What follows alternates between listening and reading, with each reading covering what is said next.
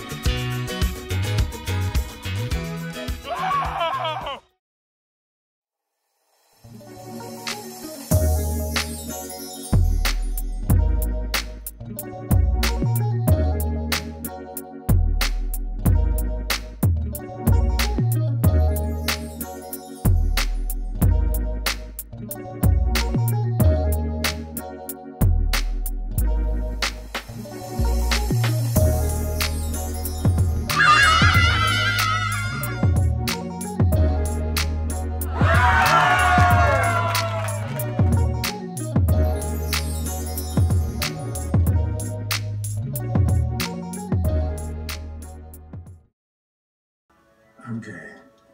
I always remember him wearing a purple sweater when he told me this, but actually he wore a robe. I'm gay. I'm gay. I loved your mother, but uh,